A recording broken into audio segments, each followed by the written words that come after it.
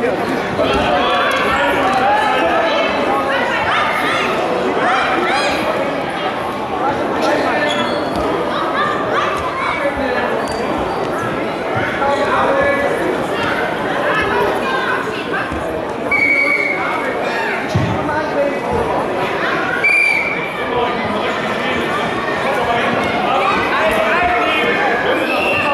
Stadtgelder der Vereine können unter dem Basketballkorb äh, bezahlt werden. Danke.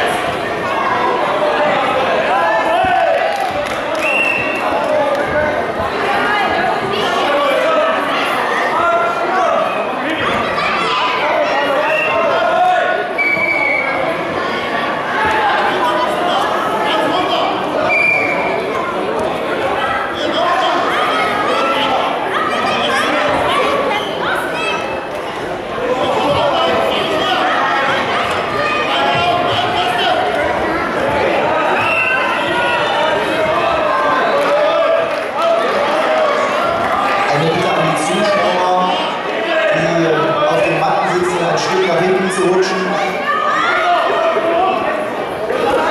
Damit die Kämpfer, wenn sie dann nochmal am Band werfen, niemanden